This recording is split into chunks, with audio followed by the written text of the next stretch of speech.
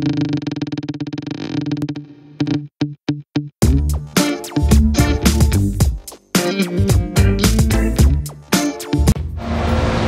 up everybody? It's Bleek Rides. I am here at Medellin Sport Rentals. Got some guys back there cleaning up the bikes. Got my partner Los with me. We're getting ready to go on an epic journey, epic ride, epic adventure. Can't wait to show y'all. Bleek Riders, how cool is this place? Drop it in the comments below.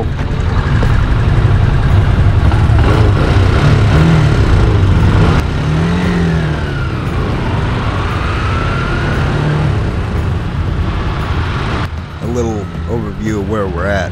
Medellin is the capital of Colombia's mountainous Antioquia province, nicknamed the City of Eternal Springs for its temperate weather. It hosts famous annual flower festivals. Uh, has a lot of modern amenities, has a lot of sculpture, a whole lot of beauty. Everywhere you look, beauty, tropical, people, living, breathing city.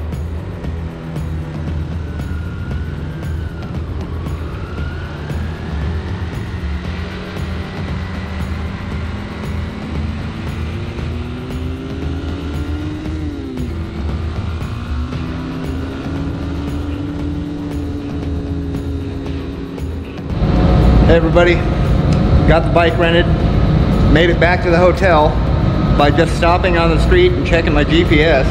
I got no no way to hold my phone, no way to hold the camera, but this is what I rented.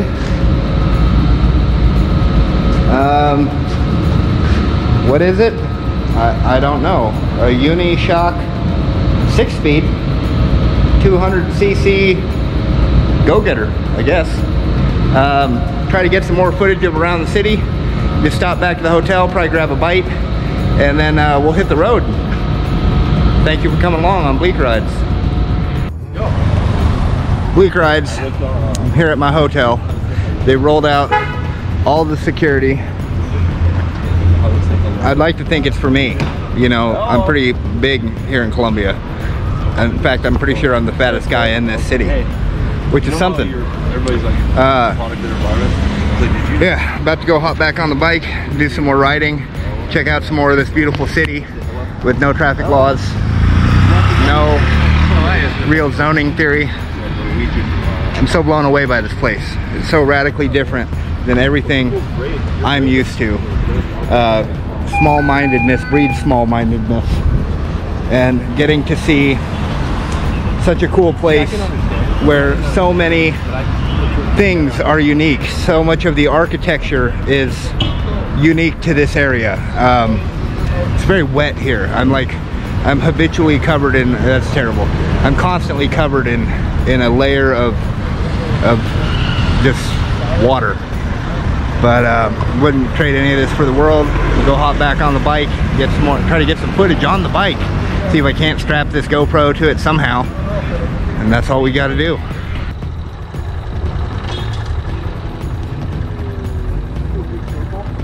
I'm just listening to the Google. So where are we going? Left and then a slight right.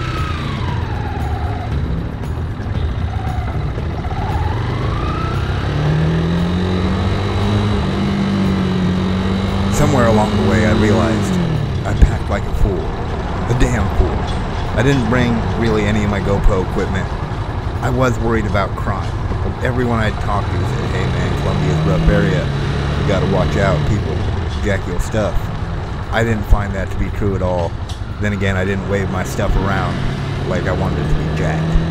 Uh, I was respectful to the people. The people were nothing but respectful to me. I will say, if you have a great big bushy beard, the people here don't really see that too often, and they will look at you. It was the first time in life, everywhere I went, I was looked at, stared at, glared at. I didn't really know what it meant, but now that I've experienced that, it's interesting to feel like an outsider, to feel like the one who doesn't fit in. This puddle here that I'm about to hit's a lot of fun. Anyway, let's let's talk some more about the city of Medellin. The traffic laws are very loose here. Uh, you can lane split. I I haven't got a whole lot of exposure to this in the United States, but I got a whole lot of exposure to it here in Colombia. It's really amazing. I didn't see any accidents. The people sort of just figure it out. Uh, they're all very patient. You'll hear little beep beeps, but nobody lays on the horn. I didn't hear a single Colombian screaming at another Colombian, hey, get out of my way. Hey, you're doing something wrong. All the people were incredibly nice to each other. They were all incredibly aware and respectful of each other. Uh, all the city kind of moves with this synchronous, almost like a watch movement. You know, uh, it, it all just works. Uh, sure, it can get out of whack. Uh, there were parts where intersections seemed like chaos, but organized, organized chaos, something in there. It was so amazing.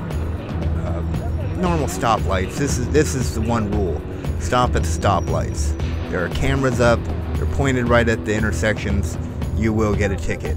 Uh, I had to put up a healthy deposit for the bike. My my business partner had to put up a healthy deposit for his scooter.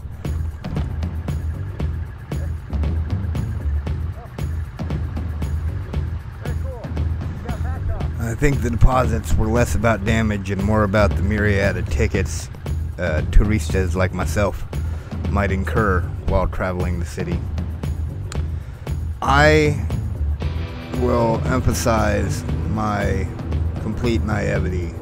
I thought I knew a little, a sliver, a scratch about two wheels, about motorcycles in general. I thought I knew brands, uh, breeds, something. I get to South America and every motorcycle here is a mystery to me. There was a Harley dealership. I went there. If you go over to my Facebook, I think there's a little video of me talking about a Pan American. But um, I've seen a couple BMW GS 1250s. Uh, you know, I've seen a Husqvarna. Um, I've seen a couple Gixxers.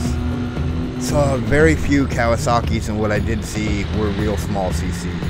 Honda was pretty big here, but the one-offs that I'd never heard of, Banale, Victory, and I'm not talking the Victory we have back home with the big cruisers, these little sporty bikes. Pulsar, Pulsar was a big one. The Boxer, lots of singles, lots of small displacement bikes that I, I had never seen before. And and to add to that, my business partner here, Mr. Los, he's on a scooter. I never gave scooters two second glances. That scooter hauls. It's uh, it's really he can get going. Uh, he actually stomps this little 200cc, whatever I'm on.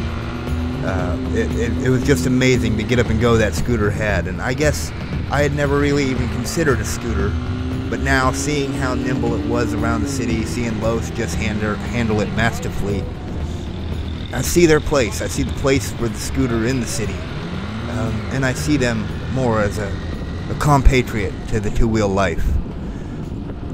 I, it's all about growing my understanding. I love traveling. I love doing vlogs. I love learning about stuff. And the only way to do that is uh, to get out there, to expose yourself, and maybe expose yourself to others, and see what the world has to offer. See what it can give you back. See what you can get from it. This place had so much amazing food. Like I said, bikes I'd never seen before.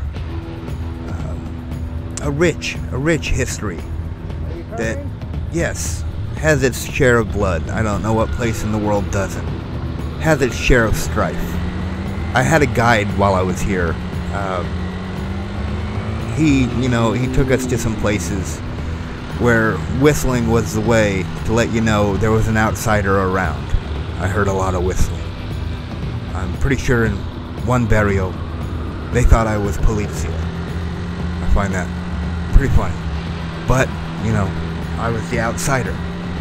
Being the outsider in a city that doesn't know you, it it's a humbling experience. Being in a place where I didn't know the people, I didn't know the language. I mostly navigated through translator apps. I had a little currency exchange app. That was truly awe-inspiring. The people here work so hard. Uh, minimum wage is three bucks an hour. You know, most people work 12-hour days. A lot of them seven days a week. Our guide was a full-time cabbie and also part-time uh, tourist guide. He made himself completely available. You know, we took care of him where we could. And uh, he showed us places that, I don't know, were off the beaten path. And, and it really felt like, on this trip in particular, I got to channel a little of my hero, Anthony Bourdain. I got to try some food that I normally wouldn't have experienced. I wish I had packed more equipment. The, the thing to remember next time, in, in my next major trip, is to pack the proper equipment, to make sure I have the ability to shoot the footage that I'm going to want to watch, because that's what I make for myself, and that's what I'm hoping you guys enjoy. And I know a lot of my content is kind of unpolished. I do my best. I'm just a guy learning. Got a got a computer. Do my editing in my basement, you know. But that's Bleek Rides. We're not fancy here. We just try to we just try to be real here. Um, showcase the good in every place. The world's got enough negativity. We could have a little bit more good vibes, good rides, good people. Might just change something. Wouldn't that be something? Uh, this place, Medellin, I, I don't get enough of the stuff I wanted to cover really shot because of my lack of gear, and some of that was the cable car system. This whole town's accessible through these cable car systems. It looks like you're in, I don't know, the Swiss Alps. You got these cable cars going up the sides of mountains to the different barrios. Definitely picked up a little bit of the Spanish while I was here. I don't know how you could not. I definitely got to see how other people live. And I got to be thankful for what I've achieved.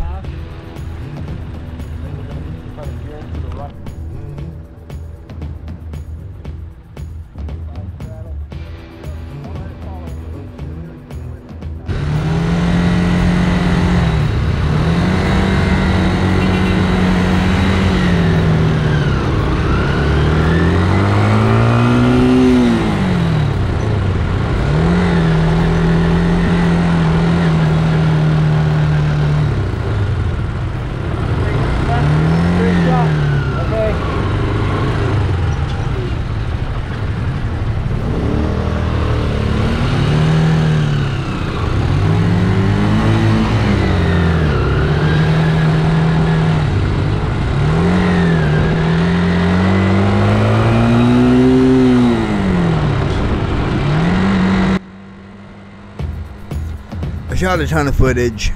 I bet I can make another video or two just with some of the scraps I have left over and some of the unused stuff I haven't even finished sorting through. But I wanted to get something out there. This was really exciting. Uh, it was a big deal for me. It was a major step for the channel and a major step for the for my vlogging career, as it were. And you know, everyone who tunes into Bleek Ride, you're a part of that as well you're on this journey with me. And I want to thank you all for coming along. I mean, it really it makes it that much more special for me getting to show places, getting to talk, getting to getting to share experiences, good vibes. And uh, y'all be safe out there. Keep on coming back to Bleek Rides.